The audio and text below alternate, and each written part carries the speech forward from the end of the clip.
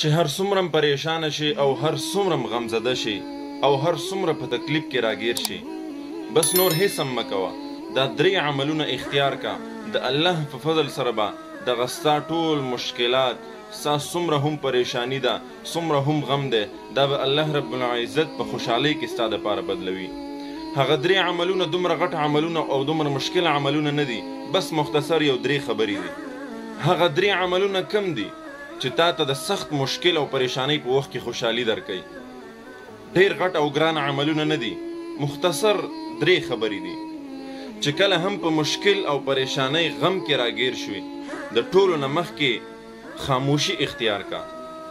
ځکه حدیث کې راځي نبی کریم صلی الله علیه وسلم فرمایي من صمت نجا چا چې خاموشي اختیار کړه بس دته نجات ملاو شو دا کامیاب شو نو کله چې پریشان شي د ټولو نه مخکې خاموشي اختیار کا فضول خبرې اترې مکوه خاموش کینه خاموشي اختیار کړه دویم کم کار دی دویم هغه دا دی چې صبر اختیار کا د غم او د مشکل پریشانۍ په وخت کې صبر اختیار کا ځکه قرآن کې الله فرمایي ان الله مع الصابرین وی بیشکه زه صبر کوونکو سره یم نو چې الله رب العزت در سره شو نو بیا غم د کمې خبرې ټول مشکلات ټول وران کارونه پریشانانې به دې بیا هغه ذات حل کوي د چا په قبضه کې چې زما او ستا روح دی نو الله فرمايي ان الله مع الصابرين نو وي بېشکه زه د صبر کوونکو سره يم نو بيا ته صبر اختيار کړه په پرېشانۍ او په غم او مشکل کې درېيم هغه کوم کار دی چې تا ته په پرېشانۍ او په غم کې خوشحالي درکوي هغه شکر دی شکر ادا کوه په هر حال کې د الله شکر ادا کوه ځکه قرآن کې الله فرمايي لئن شکرتم لأزيدنکم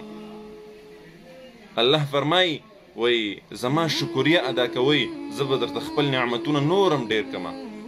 څوک چې وایي زما شکریه ادا کوۍ زه به هغه ته خپل نعمتونه نور هم پراخه کړم خسته ژوند او خوشحالي به ورته ورکړم نو چې کله هم درته مشکل غم را پیښ شو د الله رب العزت شکر ادا کا چې یا الله په دې حال کې ستا لاک لاک شکر دی ځکه چې تا سره خو د بدترو نه بدتر شته دی یا الله ښه دی چې د دې نه بدتره نه ده نو مسلمانان ورونو درې مختصر خبرې دي درې وړې او مختصر خبرې دي چې دا به تاسو ته په مشکل پریشانۍ د غم په وخت کې تاسو به خوشحالي درکوي اول نمبر ما تاسو ویل خاموشي اختیار کا دویم نمبر صبر اختیار کا او دریم نمبر ورپسې چې دی شکر ادا کا نو الله رب العزت دې په دې درېیو مختصر خبرو باندې موږ ته د عمل کولو توفیق راکړي، ځکه دا درې مختصر خبرې داسې دي، که چېرته دا زموږ په ژوند کې راغلې، زموږ او ستاسو په ژوند کې راغلې، نو یقین وکړه چې دا به زموږ ژوند بدل کړي، زموږ په ژوند کې به قدم په قدم باندې خوشحالیانې او ترقیانې او کامیابیانې راشي. الله دې د عمل کولو توفیق راکړي، د ثواب په نیت یې د نورو مسلمانانو سره ضرور شریک کړئ.